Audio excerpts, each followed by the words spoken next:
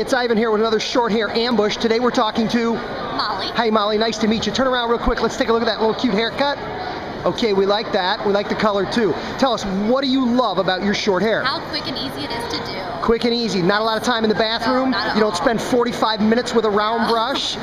That's excellent. what is your favorite short hair product? Um, I like clay, beach clay. Clay. It's kind of like a paste or waxy product, but it's Yes. drier, Yes. a little more matte finish, Yes. really great separation and texture. Yes. Awesome. Thanks for playing along today. You're welcome. Have a great day. You too. Bye. All right. Wait.